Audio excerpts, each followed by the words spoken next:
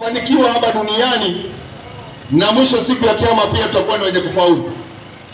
Lakini tukiwa tutakuwa tukifanya machafu katika ardhi, hatuogopi kufanya machafu katika ardhi, basi Mwenyezi Mungu atakuwa ni mwenye kutuadhibu na kutupeleka pahali ambaye ni pabaya.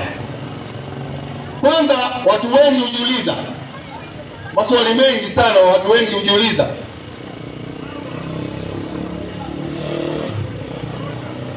kama kulingana na Uislamu, kwa sababu watu wengi hawajausoma Uislamu vizuri. Watu wengi wao wanajiuliza maswali kadhaa kuhusiana na Uislamu. Kwanza hawa hujiuliza kwa nini Waislamu hawakuli vitu kama nguruwe? Waislamu hawakuli nguruwe, hiyo ni ya kwanza. Kwa nini Waislamu hawakunywi pombe? Hiyo ni vitu ambazo watu wanajiuliza sana. Kwa nini Waislamu wamekatazwa kufanya zinaa?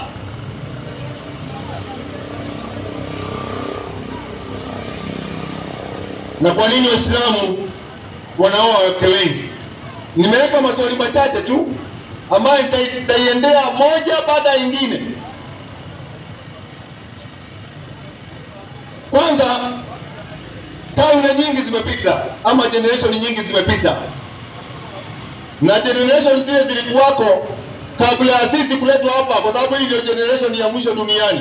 Kama unangojea generation nyingine ambayo itakuja, kaumu ambayo itakuja baada ya sasa, basi wewe utakuwa uko mbali sana na kujua mambo vile inaendelea. Wale waliokuwa kabla yetu wengi wameangamizwa na Mwenyezi Mungu. Ukiangalia kule mwanzo, watu wa Nabii Nuhu, Nabii Nuhu watu wake wote Mwenyezi Mungu hakubakisha hata mmoja mpaka hapa duniani, alibakisha wachache sana, na ndio sisi sasa tuko hapa duniani. Sisi tumetokana na Nabii Nuhu, kwa sababu wale wengine wote wa zamani waliangamizwa, na waliangamizwa kwa sababu ya makosa yao, kwa sababu inasemekana watu wa Nuhu ndio watu wa kwanza duniani kuabudu masanamu. Watu wa Nabii Nuhu ndio naona wakangamizwa wote, hakuna hakuna, walibaki wachache, watu themanini peke yake. Ndio na sisi tumetokana na hiyo kizazi cha Nabii Nuhu. Sasa sisi Waislamu, kwanza kuna mambo mengi ambaye mtu ambaye wa kawaida ambaye hajasoma Uislamu vizuri ama akajua tabia ya Waislamu atashangaa sana kuona Waislamu wafanye hivi wafanye hivi. Kwanza angalia generation ile tuko naye saa hii. Generation ile tuko naye ni generation kwanza ya, ya watu wa, wa, watu ambao ni wa miaka ya chini ndio wengi katika hii dunia, yaani young generation ndio wengi kuliko wale watu wazee, wale watu ambaye wa miaka yao imepita, lakini young generation upande wa wasichana na wanaume ndio generation iko kubwa katika dunia hii.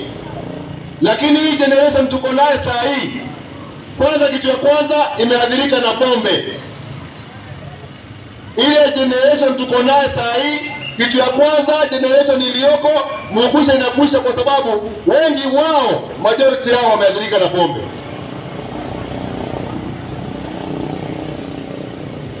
na wewe nataka wasikize vizuri, hao ambao mtu anakunywa pombe mpaka anashindwa, hawezi hata kuwa na bibi, hawezi kuwa na nini. Nataka unisikize vizuri, wewe mlevi, unisikize vizuri. Nataka pia usikize maneno ya Mungu. Mungu anasemaje? Nataka unisikize. Mungu anasemaje kuhusu wewe? Anataka ufanye nini? kwa sababu pombe haisaidii kitu yoyote, inakuwa ni hasara, haisaidii kitu. Lakini watu generation ile iko hapa, nyingi ya watu wanakunywa, lakini hawajui ina madhara makubwa sana. Kwanza, kabla sienda kitabu kingine, hebu niende kwa Qurani, Qurani ya Waislamu. Sikiza kitabu cha Waislamu kinasemaje, alafu nitaingia kitabu hii cha pili usikie inasemaje. Qurani tano tisaini.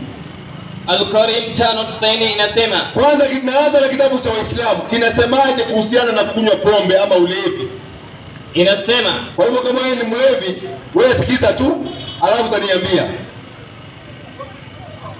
Inasema mwalimu, Eh, enyi mlioamini, enyi mlioamini, bila shaka. Bila shaka. Ulevi na kamari. Kwanza Mungu ametaja kwanza ulevi na kamari. na kamari, ehe, na kuabudiwa, na kuabudiwa. yani kuombwa asiyekuwa Mwenyezi Mungu, Kwende mwa- mwalimu wangu, na kutazamia kwa mishale ya, kupigi, ya kupigia ramli. ile kutazamia kwa mishale ya kupigia ramli ni uchawi ama uchawi. Kwa hivyo kama wewe ni mchawi, kama wewe ni mchawi, usikize pia maneno ya Mwenyezi Mungu.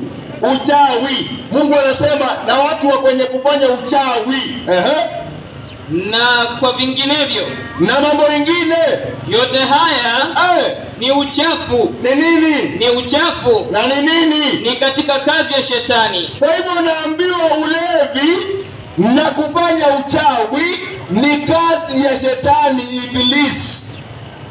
Kwa hivyo kiongozi wa hiyo maasi yote, ulevi na uchawi, kiongozi wao tunaambiwa ni Ibilisi. Sasa wewe ni uchague vitu mbili, nataka Mungu ama nataka Ibilisi? Una umepewa choice, uchague, unataka Ibilisi ama unataka Mungu?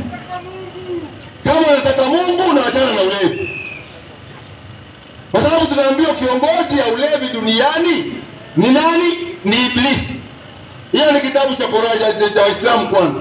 Kwa hivyo na wale wengine wanafanya uchawi, uchawi katika Islamu, Waislamu tumekatazwa sana mambo ya uchawi, na wanadamu wote wamekatazwa kufanya uchawi. Mtu yote ambaye anafanya uchawi, wacha hao wanaandikaga vibao vibao kama hizi. naona kama hii inaitwa Dr. nani eh? Kama huyu sasa anajiita sijui sijui Dr. mama sijui nani mama sijui ni habari, anasemekana anawacha anafanya nini? Ana kuachana kuacha pombe, hata yako na dawa ya kuacha pombe, kukinga nini koma na kushika wezi. Hii ni mambo, hii mambo yote ni mambo, hizi ni mambo za uchawi hizi. Mtu anaweka kibao hapa, anababadika karatasi, anasema eh, mimi ndio kita fulani kutoka Zanzibar, mimi na kinga. Natengeneza boma hapa imeachana. Na na na nalete ma, nalete mapenzi, alafu na anafanya nini? Eh? anatibu kazi. Eh, na anataka ati sijui anatafutia watu kazi. Hii yote ni ukora. Na wewe mtu mzima unatoka hapo unaenda kwa mchawi, unaenda kwa mchawi akusaidia kusaidia na nini? Mchawi hawezi faulu. Hakuna pahali wewe umeshaiona mchawi tajiri. Kama umeshaiona mchawi ambaye ni tajiri, uniambie mmoja mchawi tajiri. Hakuna mtai duniani kwa maneno ya Mwenyezi Mungu anaweza tajirika hii dunia. Uone akipeleka kama wachawi kweli wamekuwa ni watu wa maana, wangekuwa wanaendesha hizi magari kubwa kubwa. Unamuona akiwa na V8 anatembea barabarani, unamuona na Mercedes anatembea naye barabarani, lakini kwa sababu maneno ya Mwenyezi Mungu ni ya kweli na ya hakika, anasema Mwenyezi Mungu hakuna mchawi anaweza faulu katika hii dunia. Unaona wale walikuwa wakati ya Nabii Musa. Musa wakati alienda kutoa wana wa Israeli kwa Firauni, wale wachawi wa Firauni walipokuja mbele ya Nabii Musa, nabii wa Mungu, waliambiwa kwanza, Musa aliwaambia tupeni fimbo zenyu kwanza chini, wakatupa fimbo zao chini. Basi ile fimbo ya Musa ikaja, kwa sababu ile ile wachawi ni, ilikuwa ni fake. Musa akatupa yake, akakula zile zote zile nyoka zote. Kwa hivyo ukiona mtu ni mchawi usimwogope, mwambie Mungu yuko. Mungu ndio analinda watu, kwa sababu watu wengi wameathirika sana na mambo ya uchawi. Uchawi hausaidii kitu chochote. Hata wewe usifanye hili, mimi nitakuroga. Mwambie kuna Mungu. Hakuna mchawi anafaulu. Mtu anakwambia ati nenda uniletee kuku nyeusi, ati ukuja na kuku nyeusi naenda uniletee mayai ya nyoka. Mayai ya nyoka unatoa wapi? Wewe ni mchawi. Anakwambia wewe nenda uniletee mayai ya nyoka. Wewe mayai ya nyoka unaweza lete? Wewe nani anaweza kwenda anapeleta mayai ya nyoka? Tunaogopa. itakuua. Yeye bwana, hiyo mchawi asiende kwa hiyo hiyo kichakani akuja na mayai ya nyoka kuonyesha ndio hii. Ndio wanadamu tunapotezwa hivyo. Kwa hivyo ulevi ni kazi ya shetani, uchawi ni kazi ya shetani.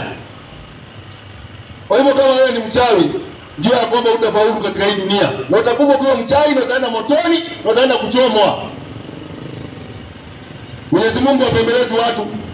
Hata wewe ukae duniani, wewe ni mchawi, inasemekana fulani ndio naroga watu, alafu wewe fikiri utaenda kwa Mungu. Wewe kwenda kwa Mungu, siku yako ikifika, motoni naenda hiyo. Kwanza wewe unapelekwa motoni direct, wewe hata hakuna pahali, pa- yaani kizuizi, ni kupelekwa direct kama vile mtu akishikwa amefanya makosa mabaya anapelekwa kotini direct kwa jaji.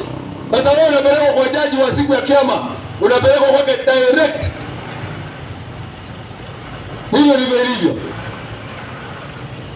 Kwa hivyo kunywa pombe ni makosa, yaani ulevi, watu wanalewa. Sasa nimesoma ndani ya kitabu cha Waislamu ambayo ni Qurani. Hebu niingie kwa Biblia. Biblia inasemaje kuhusu kwa mambo ya kunywa pombe? Sikizeni vizuri, hiyo ni Biblia, ni vitabu tunasoma. Kwa hivyo tunataka vijana muache mambo ya ulevi. Ukilewa hivyo mtatengeneza boma, hutaweza kuoa. Utakuwa ukipata shilingi kumi, shilingi hamsini unaenda kwa pombe, ukipata mia moja unaenda kwa pombe, ukipata mia mbili unaenda kulewa. Siku zote kuanzia Januari mpaka Disemba unalewa. Kwa hivyo vijana, wacheni pombe. Biblia inasemaje hapo? Soma Isaia tano kumi na moja. Isaya 5:11 Eh, kitabu cha Isaya kinasema inasemaje? tano kumi na moja inasema hivi, inasemaje? ole wao Ole wao waamkao asubuhi na mapema kwanza, hao watu wa kulewa, anaamka asubuhi na mapema, anafanya nini? wapate kufuata kileo, Anaenda kutafuta kileo. wakishinda sana hata usiku wa manane, mpaka mvinyo ume, mpaka mvinyo imewaka kama moto ndani. Unasikia? Unaenda mpaka usiku wa manane, mpaka ile pombe imejaa kwa mwili yake, inawaka moto, moto wake unachamka. Maliza. Inaendelea kusema Eh, na kinubi. Tulia mpaka hapo. Kwa hivyo hiyo ni aya ya kwanza, unaambiwa ole wao. Ukisikia neno ole wao, yaani Mungu anaposema ole wao, wewe unajua ni hatari hapo mbele. Ole wao wana wanaoamka asubuhi na kunywa 23 29 Methali 23 eh, andika pahali uone usome nyumbani. Bwana kuja kwa kukuku leo 23 ngapi mwalimu? 23 29 Methali 23 ishina tisa methali ishina tisa inasema hivi wenye Kwenye kusikiliza ishirini na tatu ishirini na tisa ni nani apigaye yowe? Unaona, kwa sababu mtu akikunywa lazima apige mayowe. Ndio naona Biblia inasema nani huwa anapiga mayowe? Ni nani aliaye? Aha. Ole, nani anakuja akipiga piga kelele?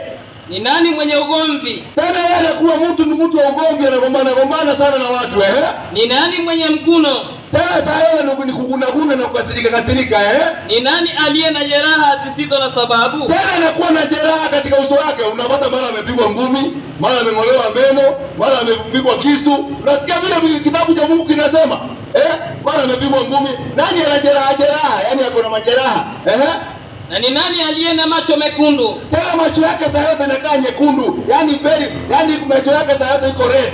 Hakuna macho iko unaweza kuona white, macho iko red saa yote eh? ni wale Eh, wakaao sana kwenye mvinyo ni wao watu wanakaa sana katika mvinyo eh? waendao kutafuta divai iliyochanganyika Tena kila siku kazi yao kutafuta divai. Hapa ndio kuna hii ndio hiyo hii ndio tamu, hii sio tamu, hii sio hiyo hii ni sweet, hii sio sweet. Ndio hivyo eh? Endelea. Usiitazame mvinyo iwapo ni nyekundu Usiye wao, unaambiwa wachana na hiyo mvinyo hata kama inakaa aje. yani red red iko safi eh? itiapo bilauri rangi yake Tulia sasa. Hiyo ni maneno ya vitabu za Mungu. Mungu anakataza watu kunywa. Ishirini hapo moja. Methali. ishirini moja inasema Unasemaje? Ishirini moja inasema hivi Aha. mvinyo Mvinyo udhihaki udhihaki, kileo kileo ulete ugomvi kileo kinaleta ugomvi. Ehe. na akosoe kwa vitu hivyo Ehe. hana hekima Kwanza huyo mtu wa kuleo unaambiwa hana hekima. Tulia. Hivyo watu wachane na vitu ambazo Mungu hataki. Mwenyezi Mungu anataka uwe mtu mzuri, uwe mtu safi, sio kunywa na kulewa. Saa yote ni kunywa. Ndio unaona ukiwezi kuona katika Uislamu.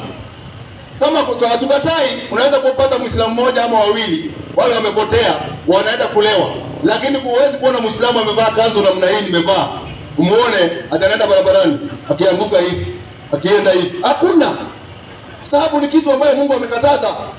Eh? Na ukula hata ukula hizo vitu zingine wanakula, hakuna pahali imesemekana ukule eh. Hata hiyo meraha hakuna pahali Mungu anasema ukule. Mimi naona jamaa ananionyesha mkono pale, ananiambia mbona mbona mbona watu watu watu, watu kwa nini Waislamu wanafanya nini? Hakuna pahali imeandikwa kwa Qurani ukule. Kama hiyo ni starehe zake, anapata dhambi peke yake huko, hiyo starehe zake huko. Hivyo ndivyo ilivyo. Ya tatu ambayo nilikuwa nazungumzia. Kwa hivyo nimezungumzia vitu vitatu. Nimesema ya kwanza, kwanza, kitu ya kwanza, mchawi. Mchawi kwa Mungu akanyani. Mchawi yoyote, kama wewe ni mchawi na unajijua wewe ni mchawi, kwa Mungu uendi, hiyo kabisa uendi. Ya pili ni hao watu ambao wanakunywa pombe. Vi- Vitabu vyote mbili, Qur'an na Biblia imesema pombe ni kazi ya Ibilisi. Kwa hivyo kama unakunywa, Ibilisi ndio rafiki yako, sio Mungu. Ya tatu ni nguruwe. Watu wanauliza swali, wanasema wewe Waislamu hakutaki nguruwe. Sisi hatukuli nguruwe. Ni kweli kabisa. Tena wengine wanaongea vibaya, wanasema Waislamu hakuli nguruwe, sijui kula mtume wao. Ndio wanaongea wengine kwa madharau tu, lakini nataka usikize vitabu za Mungu zinasemaje kuhusiana na kula nguruwe. Qurani tano tatu Quran tano tatu Al-Karim inasema inasemaje? Bismillahir Rahmanir Rahim. Ehe, Surati Maida inasemaje? aya ya tatu inasema Eh, Bismillahir Rahmanir Rahim. alafu nitoe aya mbili aya aya mbili kwa Biblia, kwa Biblia alafu nimalize. Inasema Inasemaje? mmeharamishiwa nyama. Tumeharamishiwa nyama ambayo imekufa. Ndio naona Waislamu hawakuli nyama ambayo imekufa. Ehe. na damu Na damu, sisi Waislamu tumeambiwa tusikule damu. Ndio naona huwezi kuona Muislamu anakula ile nyama inaitwa ile miturai inatengenezwa na damu, hakuli kabisa, kwa sababu Mungu amekataza tusikule damu, kwa sababu damu ni uhai. Ehe. na nyama ya nguruwe na nyama ya nguruwe Mungu anasema tusikule nyama ya nguruwe.